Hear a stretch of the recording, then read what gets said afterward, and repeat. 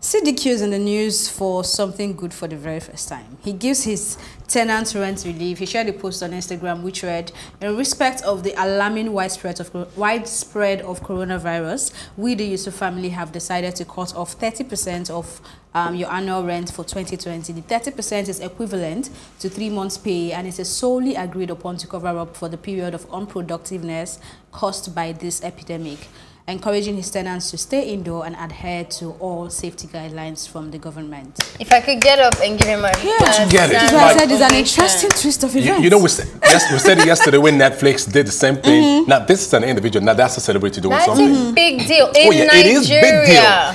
30%, which is equivalent to your three months salary. Landlord. Hi. You know, you know, it might not even just be your landlord. It could be, it could be your employer. It could be, mm. you know, don't you get no, it? No, this one I mean, is landlord. Okay, landlord. Yeah, okay. yeah. Mm. Because I think um, the housing, the housing is um, a big deal. Role big in deal. this particular period is is almost more important than than employees and employer yeah. relationship. I, have seen a lot of companies in Nigeria, in Lagos, that have given their staffs 50k, everyone 50k minus their salary, just oh, to go right. and be able to stock up on their houses, and because all of them are going to be working from home, so buy internet, buy oh, wow. food and water and things like that. I've seen that, but I don't think that that even has the bigger as much effect as this as putting um, three months off your rent, because at the end of the day, we're all going to run to homes mm -hmm. for mm-hmm. safety. Yeah, this is and stay we, home stay home is what we're going to be preaching. Now we're not even preaching it as much. Yeah. I'm not trying to prophesy negatively, but we'll get to a point where we really have to stay home. There has to be a place that we can. Inevitable. There has to be a place where we can go to and without having the fear of you know like being ex executed or having like this debt that you can't pay because you're you're coming from home. I mean, I even a blind person can see now that we're going into a recession. So any financial support that we can all give each other, yeah. will be great. Especially yeah, for people who should come to play. Yeah, especially for people who have. Um, I mean, for him to do that, obviously, is privilege, and we have to acknowledge that. But I feel like if you have a lot of money in your account right now, this is the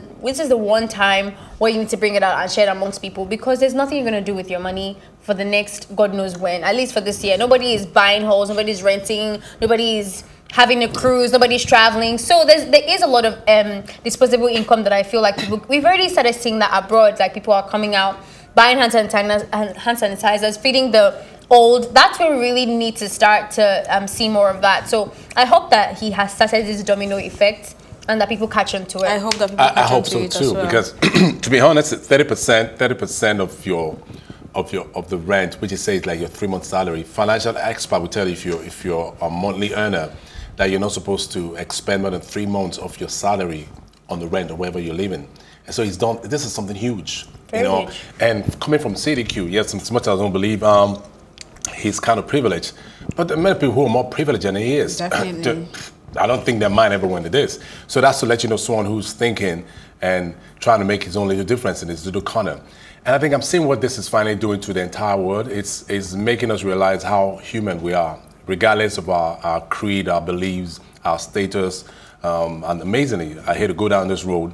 For those confirmed, most of the confirmed cases we have in Nigeria right now, uh, so much the, the elitists, those mm. who are the ones who have traveled recently. Mm -hmm. you know, so it doesn't respect creed, um, status.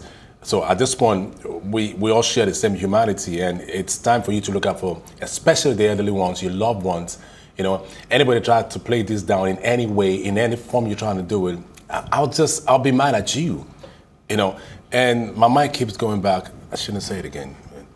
Those really just fellas. I mean, I mean, what, what God are they serving? I don't even understand it. Mm. I feel like it's deeper than that. I feel like Nigerians are just not grasping the idea of it. I, I mean, it's not. It's understandable. I'm not. I'm not trying to give excuse for it, but we are smitten with um, illiteracy.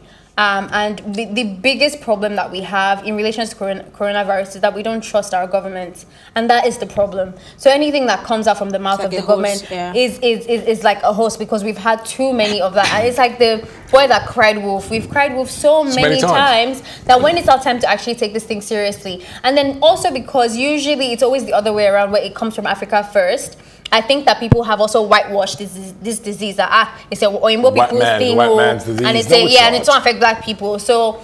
Um, until faces like no, I, this is so insensitive, but until faces that we know, like um, um, Abu, Abubakar's son, yeah. a face that we know that we can see, until that starts to happen, um, we won't really get to a point where people are taking their. Well, um, it's happening. social It's happening. And distancing. guys, no no matter what you believe, whatever your, your prejudices are, your your um, your subjectivism on coronavirus, just know it is not a hoax. It is is real. It's real. It's I not. wish it was a hoax. Yeah.